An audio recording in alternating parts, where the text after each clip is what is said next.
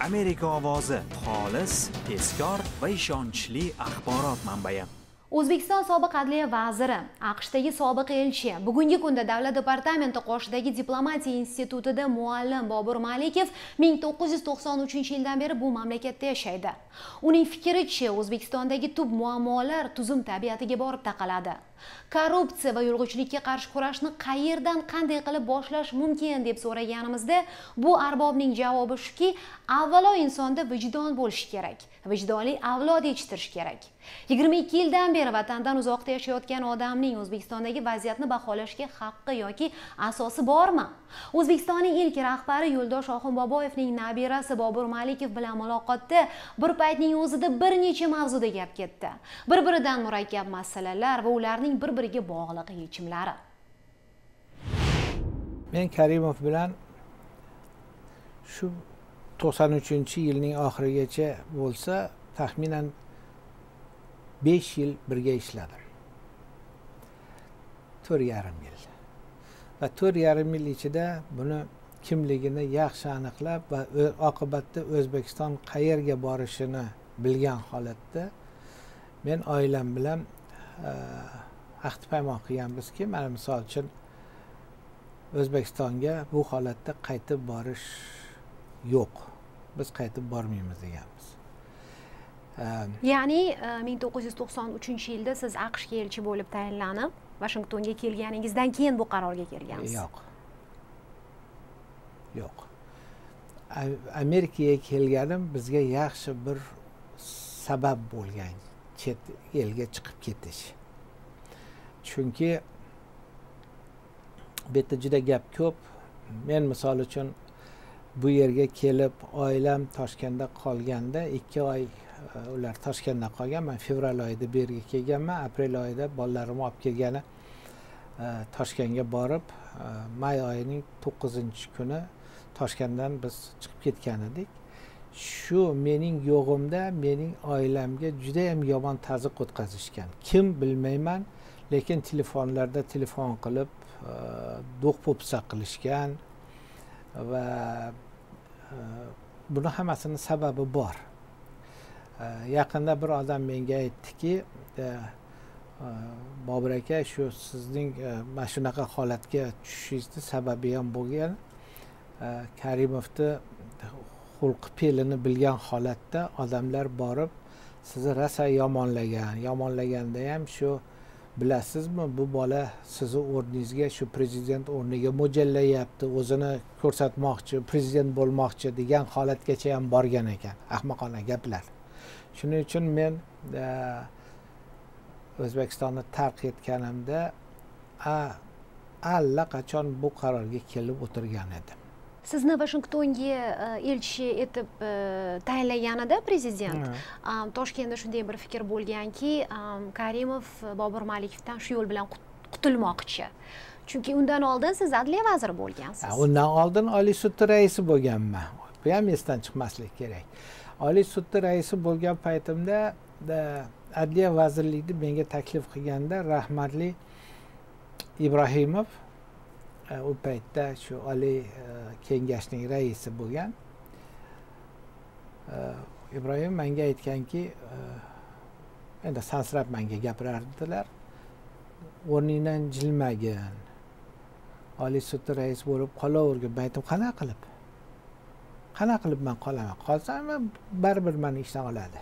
Endi e, siz albatta bu yerda siyosiy boshpana so'rab qolib ketganingizdan keyin o'zbekistonda sizga nisbatan juda ko'p ayblovlar yangragan buni juda yam yaxshi bilasiz. Lekin ko'pchilikni jumladan bizni ham qiziqtiradigan narsa mana siz o'zbekistonda davlat ishida uzoq yillar ishlagansiz. O'zbekistonda yo'lg'ichilik juda yam chuqur illizotga muammo edi o'sha paytda ham korrupsiya juda keng tarqalgan bo'lgan. Qanday qilib sizga o'xshagan yuqori lavozimda yurgan odam toza bo'lishi mumkin qanchalik o'zingizni asray olardingiz o'sha illatlardan o'zingiz toza bo'lishingiz kerak degan savol bor. Birinchi o'sha zotingiz oilangiz qanday bo'lgan bo'lsa mana shuni oilangizda shu tarbiyani olasiz. Begonaning e, haqini urma bu harom.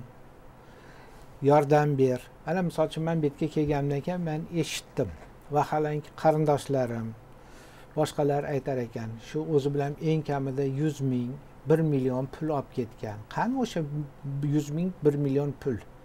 Shu kungacha qadar biz qarzda botib o'tiribmiz bilasiz amerikani hayoti. O'zbekistondagi o'zgarishlarni jarayonlarni muntazam ravishda kuzatib borasiz uzoqdan turib bo'lsa ham. Qisqacha qilib o'zbekistondagi tuzum va o'zbekiston jamiyatini qanday baholaysiz bugun? Men bu yerda siyosiy boshpana so'raganimda bu yerda man shuni ochib bermoqchiman. Man o'ylagandimki men bilan kamida bir tag'in to'rt besh kishi shu qalam bosib shu harakat qilib o'zini mardligini ko'rsatib hukumatga misol uchun o'zini munosabatini bildirib biz keyin lekin mana shu haqiqiy kuchli muxolifat tashkil bo'ladi. Va biz misol uchun mana shu to'rt besh kishi kelajakda o'zbekistonga ham qaytib borganimizda albatta biz mana shu ehm, bo'lgan muammolarni hal qilishimiz mumkin. Nimaga deganda bizni tajribamiz davlat ishidagi tajriba. Hozir muxolifatchilaringizni ichida bittasi ham davlat tajribali odam yo'q. Bular hammasi quruq gapdan boshqa hech narsa gapirmaydi. Qandoq qilib ish e, tashkil qilish gapirish bir ish tashkil qilish. Qanday muammoni hal qilish bittasi ham bilmaydi. O'zbekistondagi o'sha savolimga qaytaman uzr yana bir marta. E, o'zbekistondagi tuzum bugungi qanday baholaysiz uni? E, feodal tuzum. Feodal tuzum. Feodal tuzum. Feodal tuzum. Va feodal tuzum bo'lganda ham e, bu tuzumning misol uchun qanday deb aytishimiz mumkin? Absolyut qirollik. Endi o'zbekistonni ko'pincha yakka hokimlik hukmron ayni shuni o'zida shuni deb ta'riflashadi lekin demak jamiyat agar tuzum feodal bo'lsa demak jamiyat ham albatta albatta. O'zbekistonda misol uchun milliyat bormi? Farg'onalik andijonlik samarqandlik mahalliychilik mahalliychilik mahalliychilik o'sha feodalizmning birinchi ko'rsatkichi. Endi mana sizni hozir o'zbekistonda tomosha qilayotgan deylik amaldorlar mansabdorlar har holda juda ko'p odam sizni hali ham juda yaxshi eslasa kerak. Bobur malikovni bizni baholashga bizga nisbatan bunday fikr bildirishga umuman haqqi yo'q chunki bu reallikdan juda yam uzoq bir odam deyishsa nima derdingiz? Deyaversin it akillaydi karvon o'z yo'liga man o'zimni fikrimda qolaman. Ular gapiraversin. Ular ularda vijdon bo'lsa ularda diyonat bo'lsa vaholanki iymon bo'lsa bugungi holatga o'zbekistonni keltirarmidi? Qarang oxirgi mana bir haftaning ichida bo'lgan voqealar. Narxlar suvga issiq suvga sovuq suvga gazga yana bir oshdi. Pulning qadri umuman tushib ketdi. E, benzin yo'q. Hayot shu darajadaki bechora yoshlar o'zbekistonda tark etib boshqa mamlakatlarda qaysi ishlarda qaysi nimalarda xor zor bo'lib yuribdi? Bu sharmandalik emasmi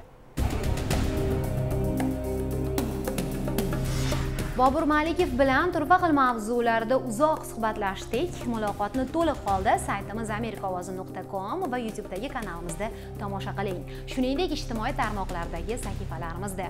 Fikr va mulohazalaringizni kutib qolamiz. Ko'rsatuvimiz esa davom etadi. Amerika ovozi televizorda radioda va internetda. Shuningdek uyali telefoningizda.